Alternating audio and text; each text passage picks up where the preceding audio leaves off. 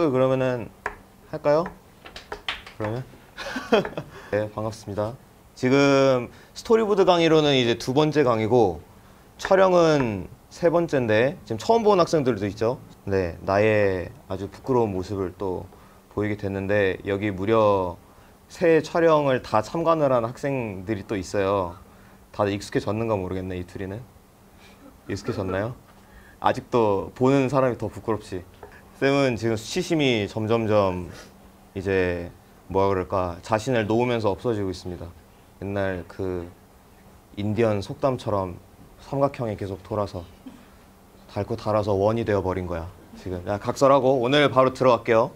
어 오늘 할 거는 좀 중요한 거예요. 영상 언어에 대해서 해볼 거예요. 스토리보드. 저번 시간에 우리 여기 있었던 참관했던 학생들은 어, 본인이 좋아하는 이제 영상 매체, 뭐 애니메이션 아니면은 영화를 장면 1분짜리를 딱 뽑아서 그다음에 50컷 내외로 스토리보드를 한번 모작을 해봤죠. 스토리보드 한번 그려보는 활동을 했었죠. 그거 하면서 여러분이 약간 감은 잡았을 거야. 아, 스토리보드가 이런 거구나 하면서 감은 잡았는데 이거를 이제 내 거를 창작해가지고 그리려면은 이게 또, 또 이게 손이 안 간단 말이지. 이게 또 왜- 왜냐면은 이걸 모르니까 영상 언어. 그래서 오늘 이거를 본격적으로 알려주고 창작을 한번 시작을 한번 해볼까 해요. 영상 언어라는 이거 단어 자체가 근데 약간 좀 아마 좀 생소할 거야. 들어본 사람 혹시 있을까요? 영상 언어라는 말? 이거를 이거 본강 때 아마 몇 번 얘기해가지고 들은 사람도 있을 텐데 일단 어 여러분이 영상 매체 그러니까 영화나 애니메이션을 볼 때 여러분이 받아들이는 정보들이 있죠. 그러니까 각본가가 쓴 이야기가 있고 그 다음에 캐릭터들이 어, 하는 연기가 있고 이런 것들 여러분이 직관적으로 받아들이는 정보들이잖아. 근데 이걸 여러분들이 이거를 자연스럽게 전달받기 위해서는 카메라 위치, 각도 이런 거가 되게 치밀하게 설계되어 있어야 되고 그거를 토대로 영상적으로 자연스럽고 적절하게 찍혀야지만 여러분들한테 제대로 전달이 되는 거야. 이게 뭐 그까이 거뭐 대충 그냥 이렇게 뭐 카- 앞에서 하고 있으면 카메라 갖다 놓고 그냥 찍으면 되는 거 아니야 하고서 생각할 수도 있는데 근데 이게 아까 말했던 카메라 위치, 각도 이런 것들이 단어처럼 의미가 하나하나씩 있어요. 의미가 하나하나씩 있고 방금 말한 이런 것들이 합쳐져 가지고 더 세밀한 의미와 메시지를 가지게 돼요.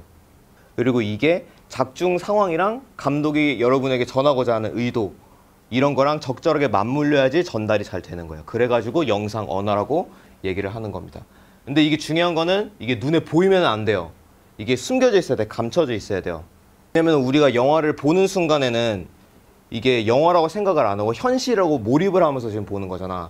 근데 이게 카메라로 찍은 거야 라고 생각을 하는 순간에 거기서 몰입이 갑자기 확 깨져버리게 되는 거니까.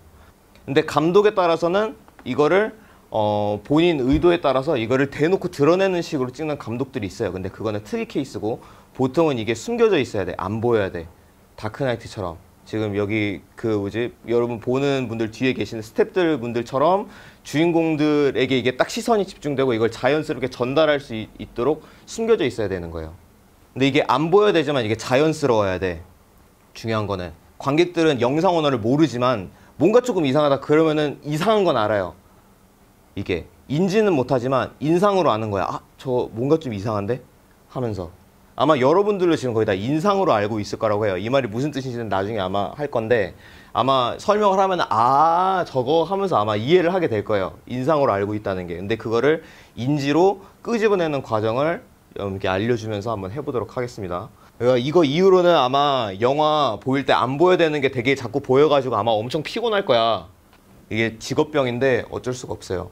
그래서 영상 언어 단어부터 우리가 한번 배워보겠습니다. 일단 영상 언어 단어는 이렇게 종류가 일단 세 가지가 있어요. 첫 번째로 distance 거리란 뜻이에요. 카메라와 피사체 간의 거리.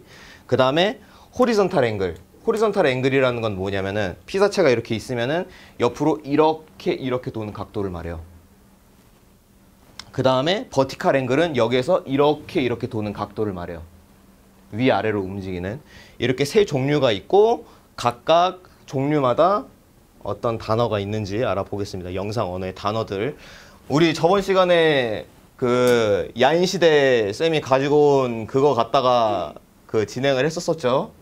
어, 저번 시간 주인공들이 다시 나왔는데 일단 distance 카메라와 피사체의 거리라 그랬지. 종류가 흔하게 이렇게 세 가지가 있어요. 이제 크게 보면은 일단 첫 번째로 medium shot, 그 다음에 클로즈업, long shot 이렇게 있습니다. 클로즈업은 말 그대로 여기 얼굴 나오게 이렇게 카메라가 가까이 피사체에게 얼굴만 보이도록 이렇게 가까이 다가간 게 클로즈업이에요. long shot은 발끝까지 머리부터 발끝까지 전신이 보이도록 멀리 떨어진 게 long shot입니다. medium shot은 이 클로즈업이랑 long shot 사이에 있는 애들을 다 통칭하는 게 이제 medium shot인데 이것도 세분화돼서 이렇게 되면 medium close-up shot인 거고 여기까지 나온다? 그러면은 medium long shot으로 그렇게 세분화 될 수가 있어요. 근데 이게 의미가 뭐냐? 카메라와 피사체 간의 거리는 뭘 의미하냐면은 캐릭터에 대한 관객의 이입 정도를 조절하는 게 이제 카메라 그 distance입니다. medium shot은 일상적인 장면이에요. 우리 평소에 그 뭐지 사람들끼리 거리가 어때? 보통 일상적으로 그냥 보통 요 정도 boundary에 있잖아. 이렇게 가까이 가거나 아니면 이렇게 멀리 떨어져 있는 경우도 있긴 하지만은 우리가 평소에 일상적으로 생활할 때는 이렇게 요 정도 거리가 제일 많죠. 그래서 가장 일상적인 장면이 일반적이고 일상적인 장면이 medium shot이에요. 클로즈업 샷은 어떤 거냐면은 캐릭터에 대한 관객 이입 정도라고 말했죠. 클로즈업 샷을 썼다는 거는 이 캐릭터한테 여러분이 이입하란 뜻이에요. 여러분이 친구랑 가까이 얘기를 할 때 이 막 친구가 막 진지한 얘기를 해. 뭐 아, 어제 뭐 어떻게 막 깨져가지고 막 무슨 어쩌고 저쩌고 하는데 바로 옆에서 이렇게 얘기를 하잖아. 옆에서 바로 얼굴 옆에서 얘기를 하면은 얘 얼굴 표정 보이고 얘 감정 보이고 이러니까 얘의 어떤 감정의 그런 어떤 공감이랑 이입 같은 게 되게 되죠. 그거랑 같은 맥락이에요. 관객의 위치를 바로 캐릭터 눈 앞에까지 놔가지고 캐릭터의 표정이 보이고 감정이 보이니까 이입을 하라는 뜻인 거죠. 이입, 이입을 하게 되는 거죠. 캐릭터 상태에. 롱샷은 뭐냐면은 이입을 이제 못하게 이렇게 멀리 띄워놓는 거예요. 할 필요가 없다는 뜻일 수도 있고 이입을 그런 경우에는 이런 식으로 어떤 전체 배경과 주변 상황을 캐릭터랑 같이 보여줘야 될 때, 그렇게 관찰자 시점에서 전체적으로 보여줘야 될 때, 이럴 때는 감정 이입이 들어갈 필요가 없잖아, 그치? 혹은 감정이 이입이 들어가면 안 될 때, 예를 들어가지고 코미디 장면이거나 희극적인 장면, 그런 장면일 때에도 롱샷을 많이 씁니다. 이게 무슨 소리지? 할 텐데, 슬랩스틱 코미디를 한번 생각을 해보면은, 막 이렇게 넘어지는 거잖아. 자빠지고 넘어지는 거잖아. 근데 그거를 가까이서 본다고 생각해 봐봐. 누가 막 이렇게 해가지고 양동이 발 흔한 거 있지. 양동이 밟고 넘어지는 거 막 이런 거. 여러분 이렇게 길 지나가는데 바로 옆에 있는 사람이 양동이 밟고 넘어졌다고 생각해봐. 그러면 막 어머어머 할 거 아니야. 그치? 근데 여러분이 이렇게 앉아 있어. 창밖에 이렇게 앉아가지고 카페에 앉아가지고 이렇게 밖에 이렇게 보고 있는데 저기 50m 밖에서 어떤 사람이 척척척척 가다가 양동이 밟고 이렇게 넘어지는 거를 봤다고 생각해 봐봐. 바로 찍어가지고 인스타에다가 올리겠죠 그러니까 상대와 감정의 이입이 안 되게 거리가 멀리 떨어져 있을 때 심리적으로 거리가 멀리 떨어져 있을 때 우리는 코미디를 느끼게 돼요. 아무리 좀 나쁜 상황이라고 할지라도 그게 되게 아이러니한 거지. 이게 굉장히.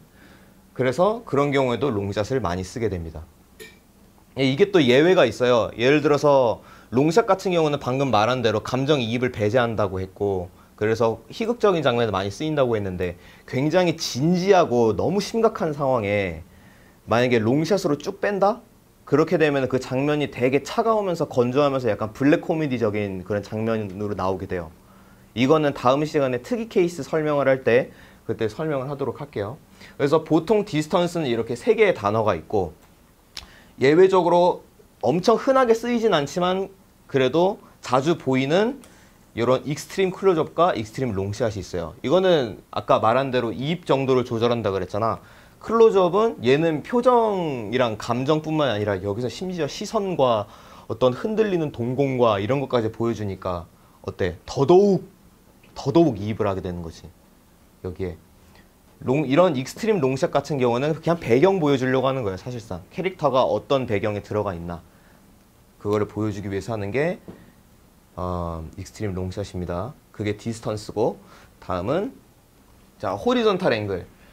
horizontal angle은 뭐냐면은 아까 말했듯이 여기 이러, 이렇게 이렇게 도는 각도를 말하는 거예요. 그래서 측사를 찍느냐 아니면 정면을 찍느냐 측면을 찍느냐 그리고 아주 흔하진 않지만은 측후 혹은 후면을 찍느냐 이렇게 있습니다. 이거는 의미가 뭐냐면은 관객을 향한 아까는 캐릭터에 대한 관객의 이입 정도였잖아. 이거는 관객을 향해서 캐릭터의 어떤 이게 용어가 적절할지 모르겠는데 진심, 마음, 어떤 그런 거의 개방도를 의미를 해요. 그러니까 자신의 본 마음 혹은 캐릭터 자신의 어떤 비밀, 속마음, 진실, 어떤 정보 같은 거를 관객한테 이렇게 대놓고 얘기를 하느냐 아니면은 반쯤 숨기고 있느냐 아예 관객한테 보여주지 않으려고 하느냐 이렇게 나누어집니다. 측사는 아까 봤던 미디움샷과 마찬가지로 가장 일반적인 장면, 가장 일상적인 장면이에요. 이유는 아까 말했다시피 미디움샷 우리가 평소 일상생활 할 때 미디움샷으로 사람들을 대하는 것처럼 측사로 사람을 대하잖아. 지금 여러분도 지금 나를 다 측사로 보고 있죠. 지금 보면은 만약에 이렇게 정면으로 이렇게 딱 보고 있으면은 어때? 굉장히 부담스럽잖아. 무지하게 부담스럽지. 대신에 누군가랑 정면으로 얘기하고 있으면은 이 사람이 나에 대해서 어, 100% 자신의 마음을 이렇게 지금 나한테 전달하고 있다라는 게 느껴지죠. 실제로 사람을 만날 때에도. 측면으로 만약에 한다고 쳐보자. 측면으로 얘기할 때는 어때? 반, 얼굴 반쪽은 안 나오는 거잖아. 나한테 반만 보여주고 있는 거야. 나의 속마음을, 진심을. 보통 이런 장면이 아마 여러분 많이 연상이 될 거야. 청, 측면을 이렇게 찍어. 그래서 막 얘기를 해. 이, 여기 그 뭐지? 시점 쇼트로, 시점 쇼트로 이렇게 주인공이 이게 다른 그 등장인물 이렇게 측면으로 보고 있는 거야. 측면만 보여주고 있어. 그럼 막 얘기를 해. 이렇게 막 투덜 막 무슨 어떤 투덜거리는 얘기를 하거나 아니면 본인의 진심 한 절반만 얘기를 하다가 이렇게 고개를 돌리는 씬이 아마 있을 거야. 그러면은 이렇게 얘기하다 이렇게 돌렸다는 거는 방금까지는 내 마음을 절반만 보여주지만은 이제는 너랑 진심을 담아서 이야기를 할 의향이 있어. 요런 요런 뜻인 거죠. 측후 후면 같은 경우는 아예 보여주지를 않지. 그러니까 예를 들어서 이런 거야. 뭐 아저씨 같은 아저씨 보면은 막 원빈이 막 사람들 막 하고 막 피칠갑대고 막 얼굴 막, 막, 막 엄청 막 지친 표정이고 막, 막 슬프고 막 이 표정이 있는데 이걸 안 보여주고 이렇게 등으로 보여주잖아. 등으로. 그러니까 관객한테 티를 안 내는 거지. 그러니까 아 나 괜찮아. 나 진짜 나 진짜 괜찮아 하면서 관객한테. 근데 우린 알잖아. 작중 상황을 봤으니까. 작중 상황을 봐가지고 네 힘든 거 알, 알잖아. 근데 스크를 자꾸 보여줘 우리한테. 아 나 괜찮아. 나 괜찮아. 이렇게 말하는 거야. 원빈이 우리한테. 뒷모습만 보여준다는 거는. 근데 우리는 알고 있으니까 그 축구가 굉장히 쓸쓸해 보이고 더 마음이 동하게 되는 거지. 그리고 다음이 버티칼 앵글입니다. 버티칼 앵글은 뭐냐면은 여기에서 이렇게 이렇게 움직이는 각도. 가로 이 아까는 가로였지만 이렇게 세로로 움직이는 각도. 그러니까 위에서 찍느냐, 밑에서 찍느냐, 이렇게 그 eye level로 찍느냐. 그래서 eye level, high angle, low angle 이런 식으로 있고 eye level 아까 말했다시피 아까 측, 그 측사면 shot이랑 그리고 medium shot이랑 마찬가지로 그냥 평범한 장면인 거예요. 평범한 장면. 그냥 일상적인 가장 많이 보이는 그 앵글이겠죠. 이거는 캐릭터의 심리, 권력 상태를 이제 보여줘요. 버티칼 앵글 같은 경우는. 그러니까 이렇게 위에서 이렇게 내려다 본다. 그러면은 관객보다 지금 이 캐릭터가 밑에 위치해 있는 거죠. 그러니까 이 캐릭터의 어떤 심리적인 상태가 위축돼 있거나 아니면은 이 상태에 이 캐릭터가 지금 위치해 있는 어떤 권력의 상태가 낮은 단계에 있는 상태인 거예요. 그리고 로우 앵글을 이렇게 올려다 본다? 그러면은 이 캐릭터는 본인이 어떤 약간 어떤 자존감이 이렇게 딱 올라갔거나 아니면 뭔가 의지가 이렇게 막 충만하거나 아니면은 권력 상태가 굉장히 강력한 캐릭터. 그래서 이 하이 앵글, 로우 앵글을 둘이 이렇게 번갈아 가면서 캐릭, 만약에 캐릭터가 두 명이 나온다? 그리고 이 캐릭터 한 번 보여주고 이 캐릭터 한 번 보여준다. 그리고 두 캐릭터의 심리 상태랑 권력 상태가 약간 다르다. 그러면 이렇게 앵글로 이렇게 다른 식으로 보여줄 거예요. 이렇게. 그래서 맨 처음에 어 이렇게 김두한이 하이 앵글로 이렇게 그 위에서 이렇게 내려다보는 카메라로 이렇게 찍혀 있고 그 다음에 의사 양반이 밑에서 이렇게 찍고 있는 카메라 나온다. 그러면 누가 봐도 이게 눈물을 이렇게 흘리지 않고 눈물을 흘리지 않고 이렇게 그 견고한 무쇠 덩어리를 들고 있지 않다고 해도 이 사람이 이 사람보다 지금 상태가 뭐 힘이 더 지금 약해 약해졌거나 아니면 지금 뭐 제압을 당했거나 그런 상태인 거고 이 캐릭터 의사 양반은 당연히 김도환보다 힘이 더 세거나 아니면은 본인 심리 상태가 더더 이렇게 어 의지가 있거나 그런 의미인 거죠. 그래서 보통 이렇게 세 가지를 쓰고 어, 흔하게 보이는 경우가 아니지만은 자주 보이는 어, 흔하진 않지만 자주 보이는 어떤 앵글 중에 하나가 bird's eye view 샷이라고 해가지고 아예 위에서 이렇게 수직으로 이렇게 보고 있는 그런 앵글들이 있어요. 이거 같은 경우는 방금 말했다시피 캐릭터 심리 권력 상태 이거를 보여준다고 그랬어. 그러니까 이거는 그냥 완전 캐릭터가 완전 비참한 상태 아니면은 캐릭터의 상태를 우리 우리 관객이 어떤 전지적인 입장, 그러니까 신이 이렇게 하늘에서 이렇게 내려다보는 것처럼, 그러니까 아예 얘네 이 피사체들을 그냥 내려보고 있는 거지. 밑의 존재로, 아래의 존재로 이제 내려다보고 있는 그런 의미의 샷입니다. 그래서 우리가 방금 세 가지 종류를 알아봤고, 그래서 총 아홉 개의 단어를 우리가 배웠어요. 이 아홉 개의 단어를 조합을 해가지고 우리가 문장을 만드는 거예요. 그리고 그 문장이 다 다른 의미와 메시지를 담고 있어요. 그리고 방금 말한 이 의미와 메시지가 작중 내 상황과 얼마나 자연스럽게 맞물리느냐 그거에 따라 가지고 어, 관객들이 봤을 때 어, 뭔가 이상한데 어 자연 자연스럽게 이 이거 눈치채지도 못하고 무르르듯이 그냥 지나가느냐 거기서 갈리게 되는 거야. 자 한번 조합을 한번 해봅시다. 그러면은 미디엄샷 측사의 아이 레벨은 무슨 의미일까요? 이건 이것도 일반적인 장면, 일반 일반 일반이니까 완전 일상적인 일반 장면이란 뜻이에요, 그냥. 이거는 일반 of 일반 그냥 평범한 장면인 거죠. 그 다음에 근데 이거를 조합을 그냥 뭐 한다고 해가지고 이거 세 개가 좀 다르나? 하는데 많이 다릅니다. 자, 측사랑 로우 앵글은 기본 베이스로 놓고 미디엄샷, 클로즈업, 롱샷을 각각 다 다르게 써볼게요. 어떤 식으로 보이나. 자, 맨 처음에 로우 앵글, 측사, 미디엄샷. 김두한이 딱 등장을 했어요. 별 감정 없지. 그냥 어떤 센 캐가 등장했다는 뜻인 거야. 미디움 샷으로 측사의 로우 앵글로 보여주면은. 근데 만약에 클로즈업을 썼다? 그러면 이건 진짜 진지한 장면인 거지. 밑 이걸 딱 등장하고 딱 얼굴 표정이랑 감정을 보여주잖아.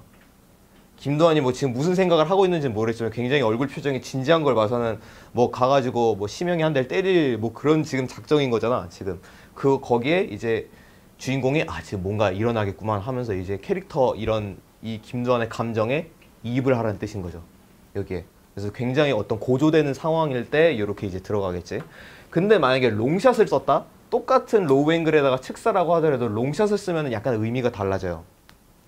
아까 말했다시피 롱샷은 감정 이입을 뺀다 그랬지. 할 필요가 없거나. 이 사람이 지금 이렇게 로우 앵글로 이렇게 하고 이렇게 서 있는데 밑에서 이렇게 멀리 밑에서 이렇게 찍고 있는데 멀리서 찍었다? 그 말은 뭐냐면은 이 캐릭터는 똥폼 잡고 있는 확률이 높아요. 그러니까 뭔가 얘가 위험 있는 것처럼 보이는데 실상은 위험이 없는 거지. 좀 웃긴 장면인 거지. 어떤 어디에서 많이 흔히 볼 수 있냐면은 포켓몬스터에서 로켓단이 흔히 이런 식으로 등장을 하죠. 위험이 1도 없잖아. 근데 지들은 엄청 똥폼 잡지 나타나가지고 인지상정하면서 절벽에 이렇게 지우랑 애들이 이렇게 밑에 있으면은 절벽 같은데 이렇게 높은데 올라가가지고 와 이러, 이러고 내려다보면서 막 하고 있지. 막 자기 대사 치고 그러고 난 다음에 뭐 한 대 맞고 하늘로 날아가고 그렇게 되죠. 그런 그런 식으로 이것만 바꿔도 이, 이 의미가 달라진다는 거. 얘를 하나를 고정시키고 얘네를 바꿔도 당연히 의미가 다 달라지겠죠. 그리고 여기에서 이제 또 여러분이 조합을 해가지고 어 작중 상황에 딱 맞게 어 그 뭐냐 영상 언어를 만들어낼 수가 있어요. 진짜 비참한 상황. 진짜 무슨 뭐뭐 따귀를 맞던 뭐뭐 어떤 관계가 악화돼가지고 빗 속에서 서 있는 장면을 여러분이 찍어야 된다. 근데 최대한 비참하게 보이고 싶어. 그러면은 일단 롱샷으로 쭉 빼. 일단은 배경 속에 초라하게 한없이 작은 나. 그 다음에 측후면으로 해 캐릭터 아 난 괜찮아 난 괜찮아. 네 상황 우리가 다 앞에서 다 봤는데 아 괜찮아 괜찮아 괜찮아. 후면으로 빼. 그냥. 그리고 위에서 찍어. 캐릭터의 상태가 와 저 밑에 있는 거 우리가 위에서 이렇게 내려다보는 거야. 비참 of 비참인 거지. 진짜. 여기서 비가 내려가지고 이런 식으로 어떤 투시 선까지 생긴다? 하, 금상첨화. 완전 이게 이제 비참샷이고 예시예요 이거는 예시. 그리고 강력 of 강력샷 클로즈업 일단은 또얘 감정 이 친구한테 감정을 이입을 해야 됩니다. 그 다음에 정면샷. 정면이라는 건 이 캐릭터가 여러분한테 자기가 할 말이 있다는 뜻이야. 나 이런 사람이야 하면서 여러분한테 딱 나타난 거야 앞에. 그러니까 여러분이 이입을 하기 위해서 가까이 다가갔는데 덩달아 얘까지도 어 나도 할 말 있어 하면서 이렇게 다가온 거지. 거기다가 로우 앵글이야. 위험에 가득 찬 위험과 어떤 의지와 어떤 힘에 이렇게 딱 가득 찬 어떤 캐릭터인라는 의미인 것이 강력 of 강력. 물론 여기에서 지금 엄청나게 많아요. 지금 무지무지하게 이거 조합할 수 있는 게 아홉 개면 이게 경우의 수가 몇이야? 쌤이 수학을 잘 못해가지고 모르지만 어쨌든 많음, 암튼 많음.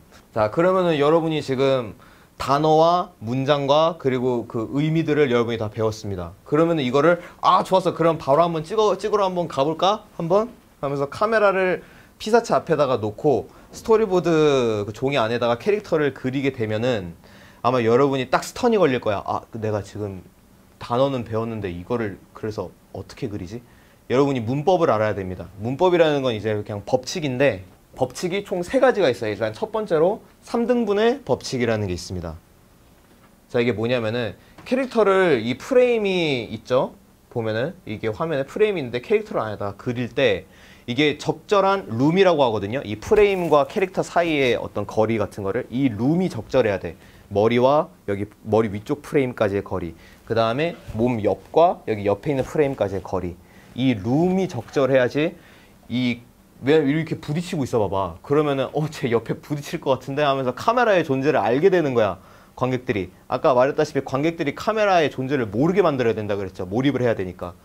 근데 이렇게 되면 알게 된다고. 어 쟤네 자꾸 가면 옆에 부딪힐 것 같은데 저기 부딪히면 어떻게 되는 거지? 막히나? 넘어가나? 끝에 절벽인가? 아무튼 막 그렇게 막 어쨌든 막 불안불안해. 이렇게 머리에 이렇게 딱 이렇게 붙이고 있을 때에도 하씨 신경 써가지고 이렇게 막 눌러주고 싶은 막 그게 아마 있을 거란 말이야. 이렇게 될 바에는 잘리거나 룸을 만들어줘야 돼요.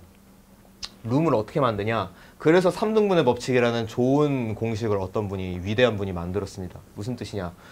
가로로 3등분을 합니다. 선을 두 개를 꺼서 세로로 선을 두 개를 꺼서 3등분을 해요. 그러면은 선이 네 개가 생기고 점이 네 개가 생겼죠. 이 점이랑 선 사이에 이 boundary 안에 캐릭터의 어떤 중요한 뭐 예를 들어서 얼굴이라든지 혹은 롱샷이라면 전신이 이 안에 들어가게 배치를 해야 된다는 뜻이에요. 한 명일 경우에는 이렇게, 두 명일 경우에는 이런 식으로. 지금 보면 이 안에 등장인물이 세명 있죠. 김두한, 의세양반, 심영이 이렇게 세 명이 있는데 다 적절한 위치에 들어가 있고 그리고 이 캐릭터와 프레임 사이의 룸도 지금 딱 적절하죠. 3등분의 법칙을 지켰기 때문이에요. 3등분 법칙에서 또 중요한 게 한 명을 만약에 넣었다. 한 명을 만약에 넣었을 때에는 가운데에다가 넣으면은 그러니까 시종일관 가운데 이게 어떤 어떤 장면에서 가운데다 딱 넣을 수 있어요. 근데 그 장면은 되게 중요하다는 뜻이에요. 가운데다 놓는다는 거는. 그리고 가운데에다가 놓으면은 이게 좌우 대칭이 너무 딱 맞기 때문에 관객이 아 이거 카메라로 찍었네 하면서 또 깨달아 가지고 또 몰입이 또 깨지게 돼요. 그래서 이렇게 3등분 이 한쪽에다 이렇게 놓고 옆에다가 이렇게 비워두는 거예요. 그리고 캐릭터가 보는 방향은 이 비워도 비워져 있는 쪽을 향해서 보는 게 제일 안정적이에요. 그래야지 제일 일반적으로 보이고 일상적으로 보이고 현실 세계에 가깝게 보이는 거죠. 일반적으로는 이렇게 여기를 넓게 이렇게 쓰지만은 캐릭 이, 이, 이 위치에다가 놓았으면은 나머지 부분을 향해서 캐릭터가 보게 이 공간을 넓히지만은 캐릭터를 이 위치에 놓으면서 시선을 이쪽으로 할 수도 있어요. 근데 그런 경우에는 그것도 이제 특이 케이스인데 그런 경우에는 캐릭터가 뭔가에 쫓기고 있거나 아니면은 지금 상태가 되게 불안한 상태이거나 그런 상태일 때 이 앞부분을 적게 두고 뒷부분을 넓게 두는 그런 경우가 되겠죠. 그리고 그럴 때는 항상 뒷부분 비어있는 쪽에 누군가가 등장을 해 손이 와가지고 이렇게 막 잡는다든지 뒤에서 어깨가 아마 여러분들 다 연상이 될 거예요. 영화를 좀 봤으면은 그게 3등분의 법칙이다. 그 다음에 있는 법칙이 뭐냐면은 180도 법칙입니다.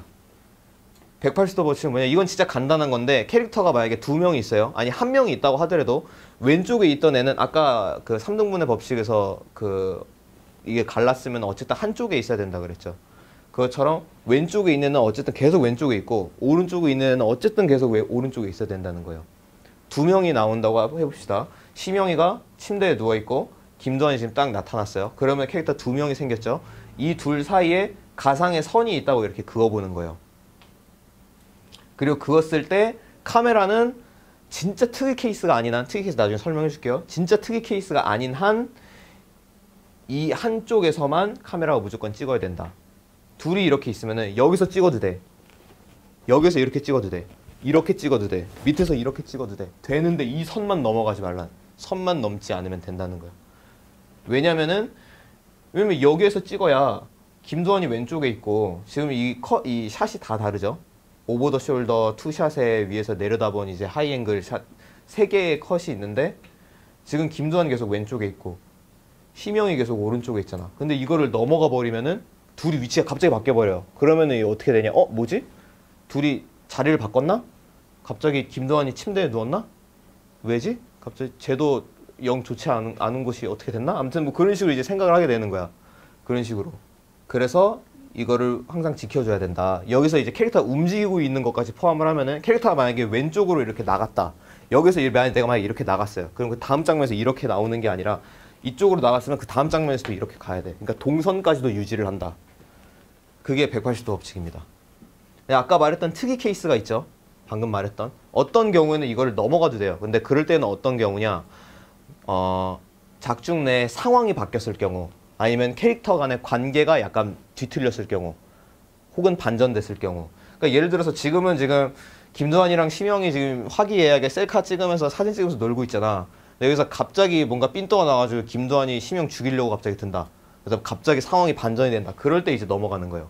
근데 이거를 이렇게 찍고 그 다음 컷에서 바로 좌우가 바뀌어 있는 식으로 하- 하지 않고 그 사이에 어떤 인서트를 하나 넣겠지. 총을 이렇게 꺼내드는 그 장 이거를 보여준다든지 하는 식으로 인서트를 넣고 그 다음 장면에서 이렇게 180도 이걸 위치를 카메라 위치를 바꾸는 식으로 들어가겠죠. 그 다음이 마지막으로 강약인데 이건 진짜 간단해요. 클로즈업으로만 계속 쓰지 말고 롱샷으로만 계속 쓰지 말고 미디움만 계속 쓰지 말고 어쨌든 우리가 다양한 샷을 배웠으니까 이게 계속 왔다 갔다 왔다 갔다 해야 되는 거예요. 이게 장 이게 이야기의 어떤 영상의 이런 리듬을 만드는 거거든요. 클로즈업만 하면은 예를 이거 예시예요. 클로즈업만 쭉 있다. 그럼 캐릭터 얼굴만 계속 보이잖아. 지금 얼굴만 계속 보이는데 엄청 피곤해져 사람이. 보통 신파 영화, 신파 드라마 할 때 사람들이 피로해하는 이유가 클로즈업을 너무 많이 써가지고 감정을 너무 소모시키기 때문에 그런 거예요. 감정 이입을 너무 하라 그래서 롱샷으로 한다? 심심해. 그냥 왜 이게 막 그냥 왔다 갔다 하고 있고 배경만 계속 보여주고 캐릭터가 무슨 생각하는지도 모르겠고 감정이 왜냐면 안 보이니까 움직이기만 하니까. 그래서 어떤 리듬감과 재미와 이런 걸 만들기 위해서는 그 외에 드럼 칠 때도 이거 치다가 막 이렇게 하잖아. 이것처럼 사이사이에 그 medium 보통은 medium shot을 쭉 깔고 사이사이에 클로즈업과 롱샷을 이렇게 끼워 넣는 식으로 해서 작품의 리듬을 만듭니다. 그래서 이렇게 클로즈업, medium shot, 롱샷, 롱샷, medium shot, 클로즈업 샷. 같은 롱샷도 이 롱샷과 이 롱샷이 다르지. 보면은 같은 클로즈업이라고 하더라도 이 클로즈업과 이 클로즈업이 다르죠. 이 medium shot과 이 medium shot이 또 다른 것처럼 이렇게 다 다르게 그려야 된다는 거예요. 그게 강약의 법칙입니다. 그러면 여러분은 지금 문, 그 영상 언어, 단어랑 문장도 배웠고 의미도 배웠고 문법, 문법도 배웠어요. 지금 이거를 이제 여러분 실제 창작에 적용을 할 시간입니다. 그래서 여기 있는 학생들은 내가 이제 과제를 부여를 해줄 테니까 오늘 그거를 해보고 다음 시간에 이제 아까 말했던 그 특이 케이스들이 지금 여러 개 있다 그랬었잖아. 어떤 장면은 원래 이 의미랑 다르게 쓴다고. 음. 그래서 그런 특이 케이스들을 보여주기 위해서 쌤이 영화 예시를 준비를 했어요. 그래서 그거는 다음 시간에 보여주도록 할게요. 이게 그 작년에 가장 핫했던 영화 두 개가 이제 하나가 기생충이고 하나가 조커잖아. 약간 영화 대 영화처럼 해가지고 두 영화를 비교를 해보면서 특이 케이스에 대해서 이야기해보는 그런 시간 가져보도록 하겠습니다. 고생했습니다.